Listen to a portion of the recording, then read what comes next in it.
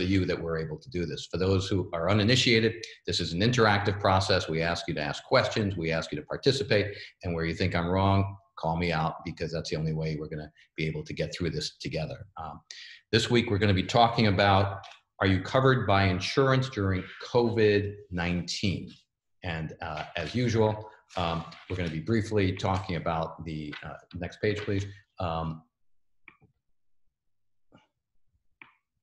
Uh, we're going to be talking about the weekly economic update. We're going to be doing the pandemic update, and we're going to be talking about insurance coverage during update during the update. And uh, we have a guest with us today, who I'll be introducing shortly, who is an expert in the in the insurance business. Uh, particularly, Oppenheim Law was founded in 1989. We've been serving South Florida for 30 years, as well as our title company, Weston Title, uh, and we have uh, gone through this an economic crisis like this just 12 years ago, and uh, we had no idea that we'd be basically going through something that was much more complicated and intricate than what we thought was was insanity just back in 2008. And again, we hope that the skills that we picked up then and the experiences will help us all get through this together this time around. Uh, I want to, of course, uh, first of all, introduce Ryan Collins, our guest speaker. Ryan is, uh, is the owner of Brightway Insurance of Sunrise, Florida, and of Chatham, New Jersey. Ryan has 20 years of experience in, in the Florida insurance in, in, in, the, in the insurance industry, and he's been uh, licensed in Florida for 20 years, and he has a 220 brokerage license. I've known Ryan for several years, as has Ellen, my wife and partner, who joins me uh, in this process every week, as well as Paula, who always assists us, and of course, Jeff, my partner, and, and me, our senior associate, all of whom are very integral in putting these, these meetings and, and webinars together. Last week, we talked about uh, the guidelines and procedures to safely reopen in the Tri-County area in, in, in, Florida and how to reduce civil liability. This week, we're going to discuss how insurance can, in theory, help you get through this process and what, what to expect from, from the insurance industry. Um, next page. Um, we're going to do a weekly economic update, which I want to go through real quickly right now. Uh, what we're finding is, is that people are obviously still driving a lot more. Gas stations are being used a lot more. Uh, cafes outdoors, people are using, uh, but at the same time, people are traveling less on airplanes and our consumption is continuing to evolve and change as this process continues. For example, in Dade and, and, and soon in Broward County, once again, indoor dining will, will not be allowed. Uh, most health clubs are being closed down in Dade County, and Broward is going to announce something quite similar. At the same very moment in time, we also have an announcement from the governor that schools are going to try and reopen in person. Uh, and we're going to see how that's going to work with, with the state being uh, literally one of the number one hotspots, uh, not just in the country, but in the world right now. But the idea is to try and get students somehow back into some sort of normalized environment. How that's going to happen, how that's going to protect teachers as, as well as students and make sure that the schools don't become some super spread environment is, is something that we are all going to have to see. But if, we go through the numbers, it'll be very interesting. Uh, in terms of vacation spending, what we're finding particularly is that Airbnb is doing quite well. Rental cars, people are using rental cars to drive instead of fly. Hotels are coming back, but there's a dramatic decrease from where we were just in February uh, previously. And airlines, of course, while they're slightly coming back, are still well, below uh, where they were. And, and a major airline, El Al Airlines, that, that is a, a, sovereign airline of the state of Israel, announced that they have, have furloughed everyone as of this morning, and they, and they are no longer flying for the time being. And I'm sure we'll, we'll continue to hear other airlines that will not be able to survive, or at least will not be flying during uh, this, this period of time. Next slide. Uh, foot traffic is very interesting. When we look at foot traffic, we see that uh, uh, in certain states, uh, traffic is, is coming back, and uh, particularly places like New York or, or other places where, where people typically are, are walking. In Florida, of course, uh, it's not going to come back as much because people don't walk as much to begin with. But uh, we are seeing that people are getting out more, and that, and that is a positive, positive sign. Next, next page. Uh, bare necessities, gas stations off the charts. we're seeing people are coming back to malls slightly. Car dealers are coming back and in all, people uh, are still at around 20 or 30 percent, about 20 percent below where they were uh, prior to this, this crisis. Um, supermarkets are no longer the main source of food. The cooking trend may be coming to an end. Food delivery has uh, almost doubled and has remained at that level. Online grocers has, has dropped because people are probably sick and tired of eating at home and cooking. Meal kits are remaining quite high. Fast food is, is basically where it was before the crisis supermarkets uh, have gone up, but then I think have come down a little bit. And then restaurants have come back primarily because of takeout and those restaurants that were briefly able to offer sit down in, in in-room dining. But the in-room dining is a major, major concern, as is any indoor kind of air conditioning.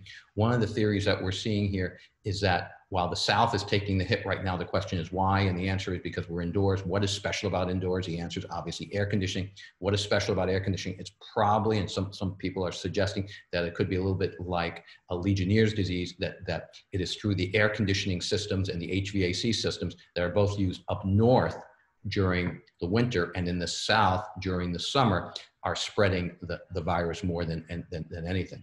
And what's really interesting, if we look at other countries like, like Europe, why are they doing particularly well? People saying, well, because they're wearing face masks. That may be it, but it may also be that many of these countries do not have central air conditioning systems. And because of that, their windows are open more and they and have a much more ventilated indoor environment. We have very sealed environments. Uh, restaurants are like that. Cruise ships are like that. Uh, nursing homes are like that, airplanes are like that, where you have these sealed environments that are using circulated central air. And with the new studies coming out that, that, that the virus is, is aerosoled and that it, it is airborne, uh, we need to be focusing very carefully about our indoor environments. And that's why Dade County, in fact, is closing uh, their restaurants indoors. And it's going to be very interesting to see how we can ventilate our school systems uh, if we're really going to reopen the school. So it's going to be very interesting to see how that works. Next page. So pandemic update, uh, Florida virus, 200,000 cases, 3,000 deaths. If we look at it, the death rate is dropping. We're at about one and a half percent. It looks like if in fact the death rate uh, remains what it is and that the number of cases continue to rise, particularly with those people that are young, average age in Florida is 21 years old, the reality is the death rate will continue to drop and it will probably end up in the one half to 1% rate. We also have new mitigating ways to, to deal with the disease. There have been some people who probably wouldn't have passed away in April. Uh, a famous uh, Broadway star who, who passed away likely is that had he gotten COVID today, he probably would have been fine. He had no pre-existing conditions, but the medical community didn't know what worked and how to, how to deal with it. Next page, please. Um, what does it say here? Doing very well. Well, virus is, continuing to spread and uh, you know, it, as we indicated, it's airborne. And so office spaces, as we talked about, and restaurants, all these things are going to be big issues, especially with, with school re, possibly reopening up. Next page. Uh, what everyone really wants is Ryan Collins from Brightway. Ryan, are you there, buddy? Can we get you on? Yes, I am here. Can you hear me? Yes, yes, yes. Hopefully, hopefully I didn't, didn't right. much of anyone's time going through the intro here. But let, let, let's go on and talk about what how insurance is going to get us through this, what we can expect, what we can expect, and, uh, and, and how it's affecting your business in general. Yeah, certainly. So uh, we'll talk about a couple different things today. One of them is everybody's got the question on business interruption insurance and how COVID has impacted that and what people's coverages look like during the COVID crisis with business interruption insurance. In addition, we'll talk about general liability uh, a huge piece is rate increases. So not only are we facing kind of unprecedented uh, economic times, but what are the insurance companies doing during this time? And uh, we'll talk a little bit about that, as well as some of the underlying trends that aren't COVID related when it comes to homeowners insurance. And then finally, we'll talk about uh, the new flood maps associated with uh, FEMA, and they've redrawn the flood maps, and we'll talk briefly about that. So next slide. Great. So uh, there's a huge question right now um, about business interruption insurance, and business interruption insurance is is just that. It's it's insurance for if your business um, is interrupted for any particular reason. Obviously, it's full of exclusions, things that it does not cover for. Uh, but it's there to really make up for the loss in revenue during the time that you are down. Uh, and so I, I used an example here of this is a, an actual um, uh, real life specific example from Tampa. There's a there's a company up there called Counterculture that uh, is a restaurant, um, and they actually have been pushing to get covered for the shutdown that they've been facing. Um, they had two things happen. One was that during the the pandemic, they actually had some kitchen workers get sick, and from COVID, and they closed, uh, resultant of that. but then they were also remained closed because of the mandated pieces uh, by the government. Um, and so there's there's a question at play here. Most business interruption policies do not cover uh, viruses and bacteria. They're clear they're clearly excluded. I haven't come across a policy that we've written yet where they've been included uh, in terms of coverage. So they're they're specifically excluded. Um, however, the way that counterculture has been playing it from a litigation perspective is actually that it's not it's not the the COVID that has closed them down, but it is the government that has closed them down. And so that's been the approach. It's it's hotly litigated right now. It's really tightly contested. Honestly, you see um, the the approach from both sides, and uh, so really, what it comes down to is it's possible that the coverage could exist um, from the government intervention, but there's obviously no valid argument for the time it was shut down due to the employees contracting COVID. So just be, uh, yeah, go ahead. What I want to say is, you know, people are seeing a lot of ads on Facebook for lawyers trolling for clients to, to bring business interruption uh, lawsuits. Now, there are different policies that state different things. Not all of them have exclusions for viruses, but a lot right. of them say that, that the business interruption has to be through a physical manifestation, through some yeah. sort of physical event, thought of like a fire, a flood, a hurricane. And so the question is, uh, and while there are exceptions for bacterial items such as mold, um, many did not in the old case, in, in the old policies specifically exclude viruses. So in those cases, the question is, is there a physicality component of the virus? Can you say that even though you can't see it, it's still in fact physical? I mean, what, you know, just because it's a micron, that doesn't make it non-physical. It just means we can't see it. So the question is, how are the courts and judges going to evaluate what the uh, event has to be for, for there to be a physical event to, to define a, a, a casualty. Yeah, you're absolutely right. And so that's a, it's just, it's right now, if you go Google business interruption and COVID, you're going to get the first thing will be a bunch of ads at the top for attorneys because again, it is hotly litigated right now. They'll be interested in to see how this plays out. But if you do have questions on their business interruption insurance, take a look at your policy and look for any exclusions that you might have on virus and bacteria. If you can't find any exclusions, you might have just a completely clear path to, to getting that coverage.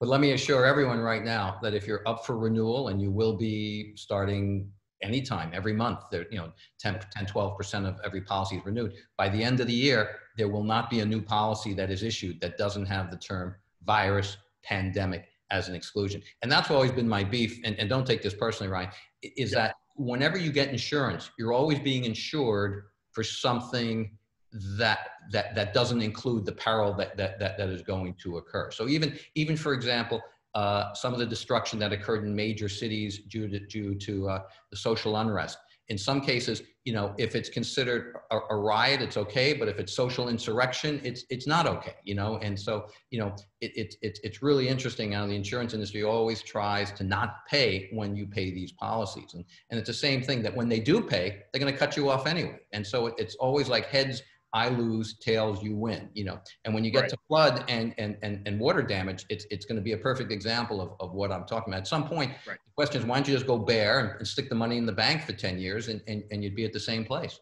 Right. Yeah. There's, a, and there's, and for those people that have the ability to do it, self-insuring is a great option in today's market. So uh, next slide.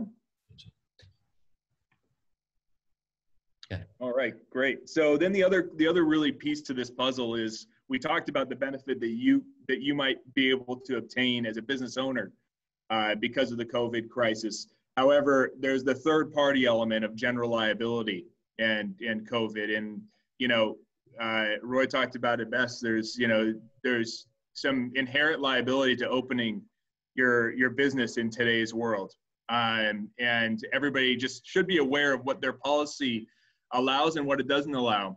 Um, so some policies have communicable disease exclusions right off the bat. So you want to check your policy to see if there is something that prohibits it uh, altogether.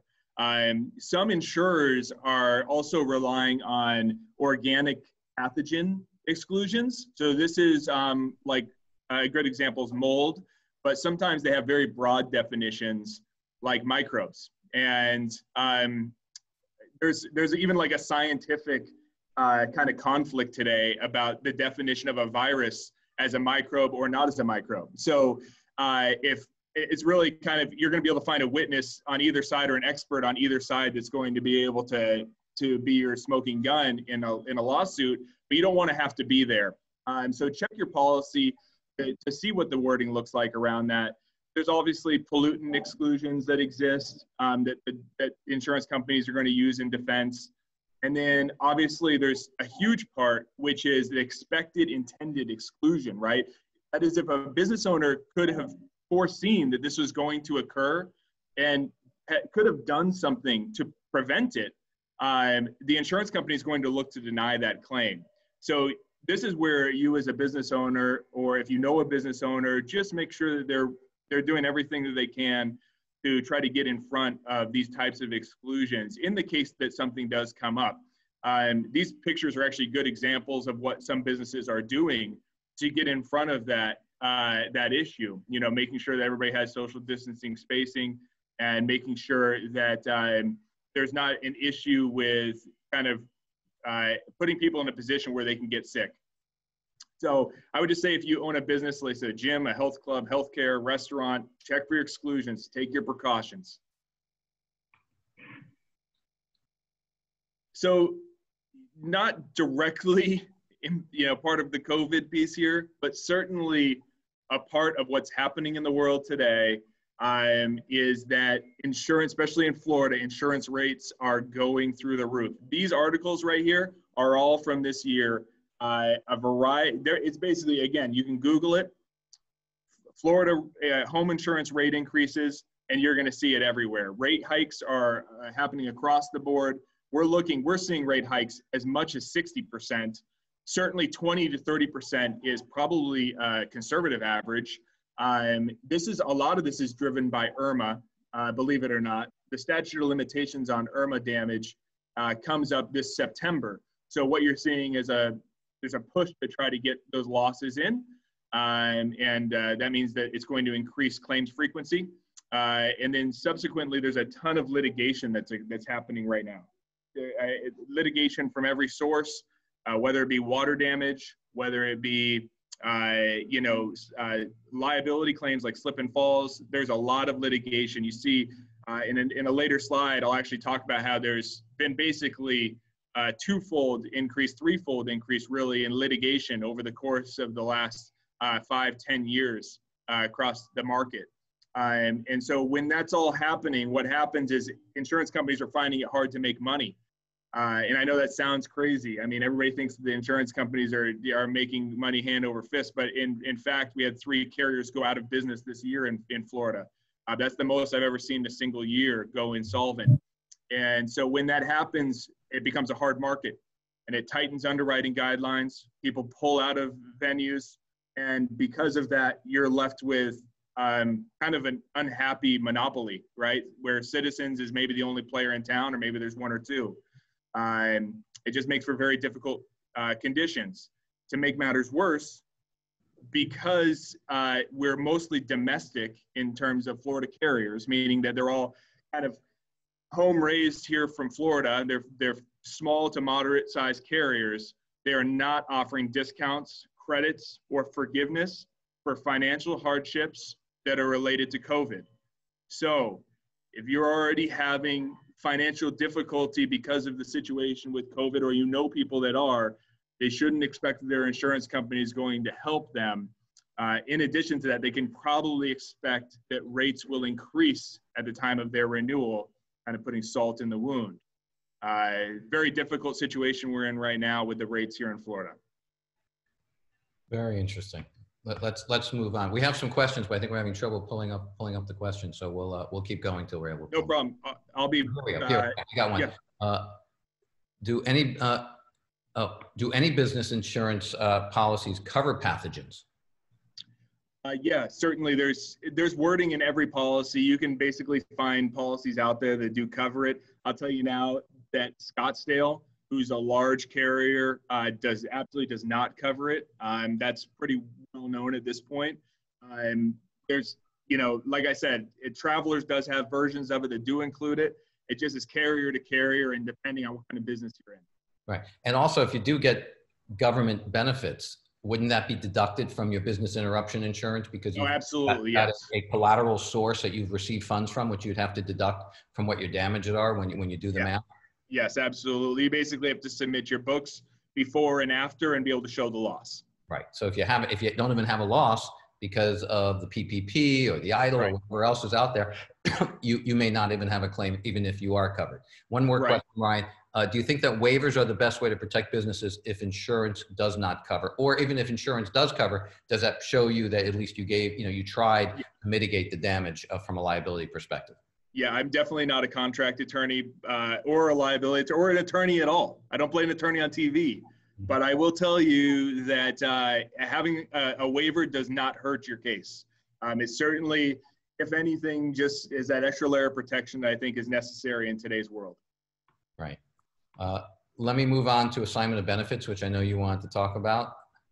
again, I'll be super brief on this. Uh, Uh, basically, huge increase in the number of litigated suits between 2013 and 2018. You're looking at 27,000 uh, lit- litigated cases uh, in 2013 to 89,000 in 2018. It's just it's a uh, it's a plaintiff's market right now. Um, it has been. That's the way that the policies have been set up, and unfortunately, every loophole is being kind of uh, beaten on right now. Um, and you can see that the water damage claims have been a huge part of that. So the insurance companies in a position where they can't seemingly win. They, they haven't found a way to win right now, the water damage piece. So instead, what they're doing is they're removing it altogether from your policy or creating a sublimit where there's uh, only $10,000 uh, of, of potential um, coverage for you there. Uh, so that's a big piece to be aware of because a lot of carriers, a lot of them are doing that action at renewal, which means that you already have a policy. Perhaps you had full water damage coverage. Check your renewal paperwork because it's typically, yeah, that's where you see the endorsement where it's changed, reduced, or removed. Uh, so check your check your paperwork there. I can tell you offhand, I had two policies, my own policies, where that water damage, both business and personal, where water damage was removed altogether from the policy. Wow. So, I mean, when that happens, you might as well just increase your deductible because at that point, the only thing you're really insuring for is a Fire. catastrophic fire or your Yep. roof being ripped off during a hurricane. I mean, you're not no Exactly right. uh, insuring for for some of the small or mid-sized type claims that that seems to be pecking the uh, the insurance companies to death here. Yeah, right, exactly right. There, you're going to continue to see that. Uh, you're going to continue to see where um, insurance companies remove coverages, um, and as long as the state allows it, that's what they're going to do because they they're trying to get control of the market right now. Right. It's, it's very interesting. And of course, assignment of benefits, I think there has been some new legislation to try and limit that, but that's Right. where the lawyers and, and the contractors assign the benefit from the homeowner to themselves so they can then get paid for all the work that they've done on the house. And then they bring in, uh, I, I guess, an appraiser uh, who assesses the damage. And, and of course, the damage then gets trumped up uh, legitimately or otherwise. Uh, Yep. And the claim gets, gets enriched is, at the end of the day. Right. Yeah.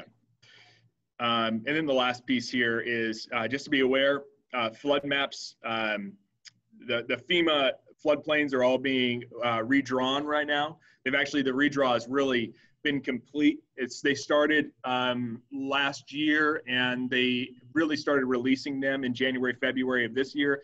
Broward even had some kind of town hall meetings to discuss the changes.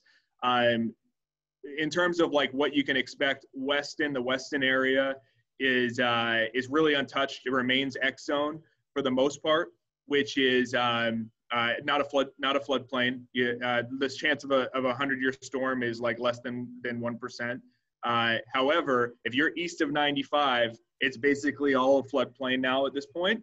Uh, and be prepared for not only paying for flood insurance, but having those rates actually go up from what they are today. So even if you have active flood coverage, in all likelihood, the rates will go up. And that's just simply because um, FEMA was, uh, uh, you would say, under reserved um, for the amount of risk that they were they had taken on.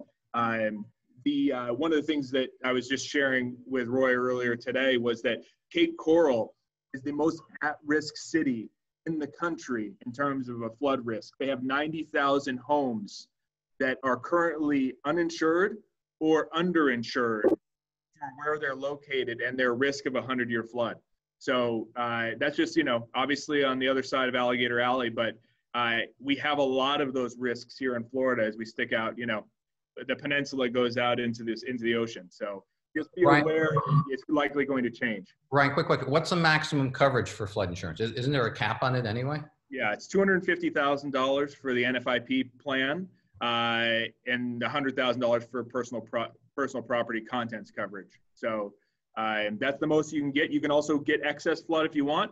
Um, however, uh, the two fifty is usually adequate, uh, depending on the size of the home. So if you live in a condo, for example, and you're on a high floor, while you may have exposure to wind, you really only you really don't have eh, flood damage other than than it coming from your own uh, uh, utilities or or from uh, maybe something happening in the building itself. Yeah, your association uh, in a condo has flood coverage nine times out of 10, and that covers the exterior walls and the, the primary construction. Um, so you don't typically, if you're in a condo, you don't typically buy flood insurance. You can always buy it if you know you don't you, if you're not required to, but uh, you usually have it. We, we have a few more questions I want to get to if we can, because we only have a few seconds left. Uh, Has force majeure been used successfully yet uh, in general as, as an argument is the question for, uh, uh, in, in terms of insurance, uh, business interruption, I, primarily, I would think.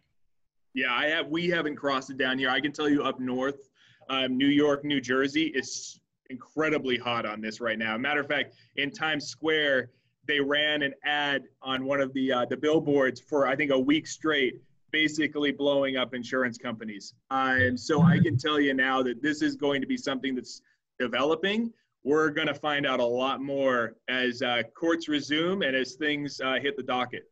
One of the things some of my insurance friends are telling me is that in the past, Congress sometimes steps in and literally rewrites the policies, Yeah. provides a chunk of money to the insurance indus- industry as a form of bailout, and then that Yeah. money comes back to the homeowner. And it's a Yeah. way of almost distributing money into the community uh, to keep the economy robust. And it's just like you know the way the PPP worked for small businesses and how the airlines got money. That that money could go to the insurance industry, and and they have to take it with the proviso that they then have to acknowledge the business interruption claims. And so Yeah, we may Yeah, actually you're gonna see see that. that.